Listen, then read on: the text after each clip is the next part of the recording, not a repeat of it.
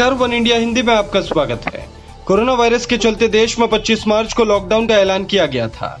तकरीबन दो महीने के लॉकडाउन के बाद चरणबद्ध तरीके से अनलॉक की प्रक्रिया को आगे बढ़ाया जा रहा है। अब अनलॉक तीन की मियाद 31 अगस्त को खत्म हो रही है। ऐसे में सरकार एक बार फिर से अनलॉक फोर का ऐलान कर सकती है, जिसमें कुछ और रियायत दी जा सकती है।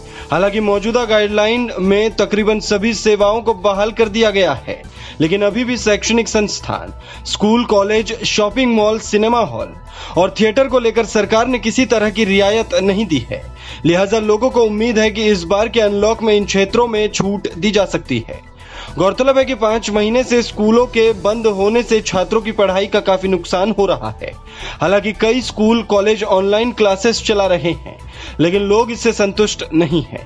लोगों को उम्मीद थी कि 15 अगस्त से स्कूल और कॉलेज को खोलने की अनुमति दी जा सकती है, लेकिन बाद में सरकार की ओर से निर्देश जारी किया गया कि इसको लेकर 31 अगस्त के बाद फैसला लिया जाएगा, और तब तक सभी स्कूल, कॉलेज बंद रहेंगे।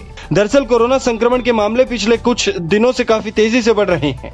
पिछले 16 दिनों की बात करें तो संक्रमण 20 लाख नए संक्रमण के मामले सामने आए हैं और हर रोज साठ हज़ार से अधिक मामले सामने आ रहे हैं। ऐसे में सरकार जल्दबाजी में स्कूलों को खोलने का कोई फैसला नहीं लेना चाहती है। शिक्षा मंत्रालय ने पहले ही साफ़ किया है कि वो जल्दबाजी में कोई फैसला नहीं लेंगे। हालाँकि अब लोग कयास लगा रहे हैं कि सितंबर में अनलॉक फोर की गाइडलाइंस में स्कूलों को खोले जाने को लेकर गाइडलाइंस जारी की जा सकती है। अनलॉक के साथ अगर स्कूल कॉलेज खुलते हैं तो ये राज्य सरकार की ज़िम्मेदारी होगी कि वह किस प्रकार के दिशा निर्देश और नियम लागू करती है, ताकि बच्चे वायरस के संक्रमण से पूरी तरह से सुरक्षित रहे। कोरोना संकट के दौर में बच्चों में सोशल डिस्टेंसिंग को बनाए रखना भी स्कूल और सरकार के लिए एक बड़ी चुनौती होगी। रिपोर्ट के अनुसार सरकार सोशल डिस्टेंसिंग और अन्य नियमों के साथ सिनेमा हॉल और थिएटर को खोलने की अनुमति दे सकती है। सितंबर के पहले दो हफ्तों में मेट्रो सेवा को भी ट्रायल के तौर पर खोलने पर विचार किया जा रहा है।